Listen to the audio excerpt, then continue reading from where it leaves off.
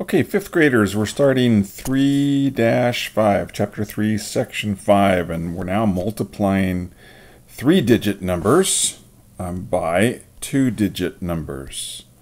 So things are getting a little more complicated.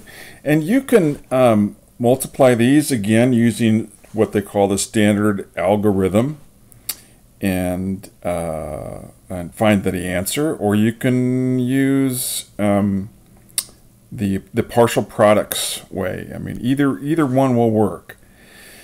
Um, so I mean, let's look at the partial products first. The way they've uh, done these. So let me show you here. So the the first number we're going to look at is the two. That's in the in the ones place, and we're multiplying that two by nine. Two by nine. The nine's in the ones place. I'm going to put ones here, and this is tens and this is hundreds. All right, so keep that in mind. So 2 times 9, what's that? That's going to be 18, and they have it there. Then the 2 times the 8, which is in the tens place, that's really 2 times 80. Well, what's 2 times 80? You can see it right here. It's 160.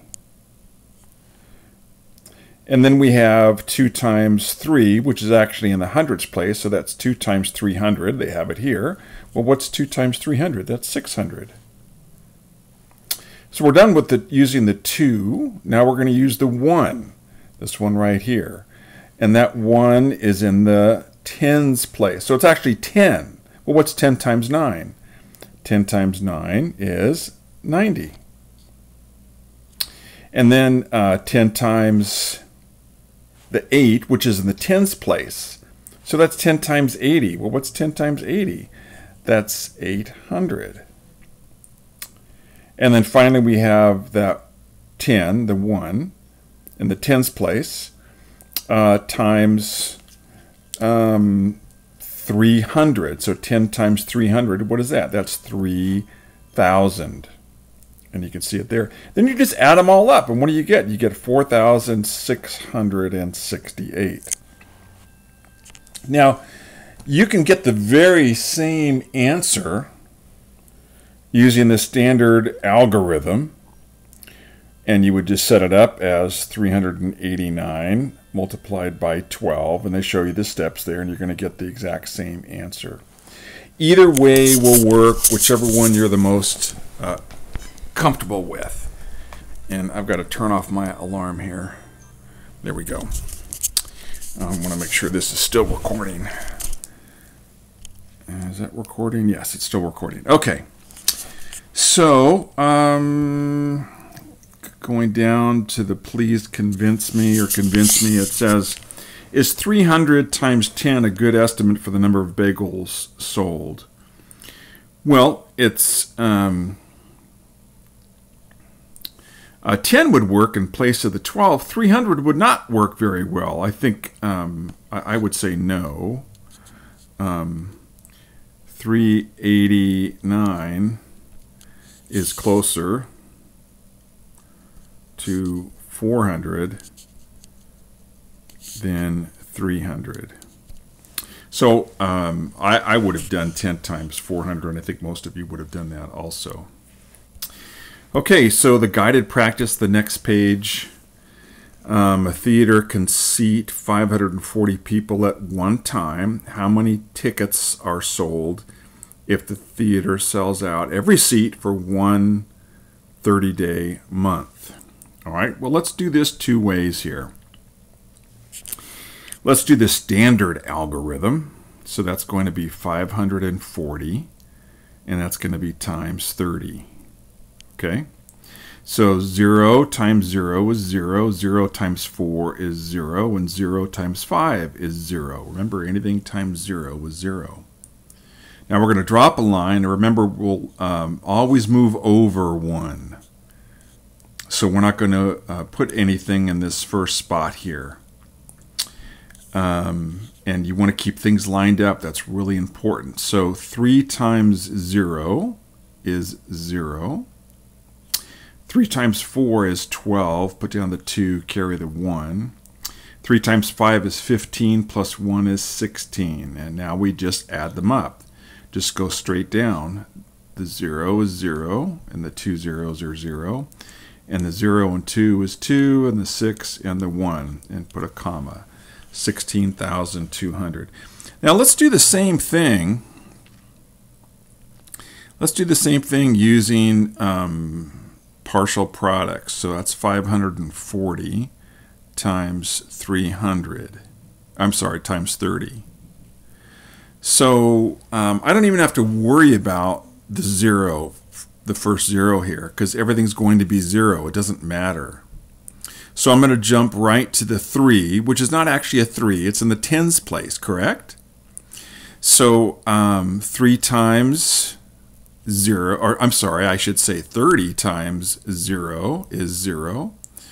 And then 30 times, that's not, a 4, that's a 40. It's in the, in the tens place, right? So 30 times 40, what's 30 times 40? Um, 30 times 40.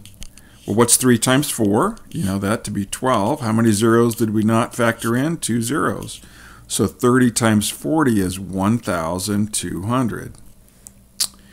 And then the 3 times 5. What's 3 times 5? That's going to be 15. But it's not 3 times 5, it's actually 30 times 500. 30 times 500 equals, well, 3 times 5 is 15. We already said that. How many zeros did we not factor in? Add 3 zeros. So um, it's going to be 1, 5, and then 3 zeros. What do we do? We just add them up. 0 plus 0 is 0, 0 plus 0 is 0, 0 and 2 is 2, 5 and 1 is 6, and then 1. 1,000, um, I'm sorry, uh, 16,200. Look at that, it's the same. So either way will work.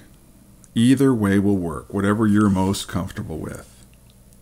So I, I would say at, at this point you guys are, are on your own. Um, we answered number one here.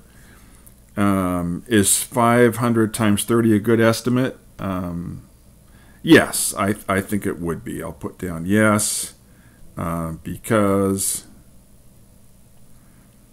um, 540, 540 is closer to 500 than 600. Forgive the sloppy writing. Okay, um, three, three through six, find each product, estimate to check to see that your answer is reasonable. I'm not worried that you estimate anything. Just go ahead and solve each one. 7 through 18, find each product, estimate to check to see if your answer is reasonable. I'm not worried about you doing that. So you guys should be able to do all those. Let's go to the uh, problem solving, take a quick peek. Uh, number 19, how many times does a rabbit's heart beat in one hour uh, per minute? So this is per minute. Um, how many minutes are in an hour? There's 60. So if a rabbit does 60 beats in a minute, I'm sorry, if a rabbit does um, 212 beats in a minute. Whew, that's fast. Um, in an hour, it's going to be 60 times that. So it's going to be uh, 212 times 60.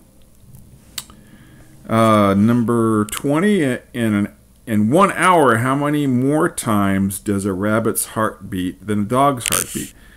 Okay, so you're going to have to figure out a dog. A dog is 100 times 60. And then you're going to have to figure out the difference between each one. Obviously, the rabbit's going to be more, so you're going to subtract the dog's heartbeat from the rabbit, and that will show you how many more times a rabbit's heartbeat uh, is more than a dog. So you're going to subtract, um, I'll put down rabbit, subtracting dog equals, it's going to be a number. And that's going to be the answer to number 20. All right, uh, let's see here. The last uh, three or four.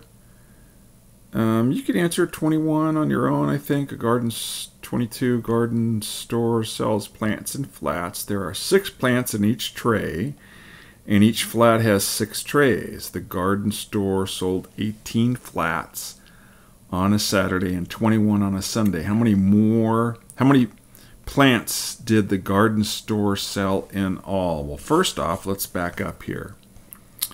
There are six plants in each tray. So I'm gonna I'm gonna draw. Here's a tray, and I'm gonna put a six in it. Each flat has six trays, so I'm gonna draw a flat now.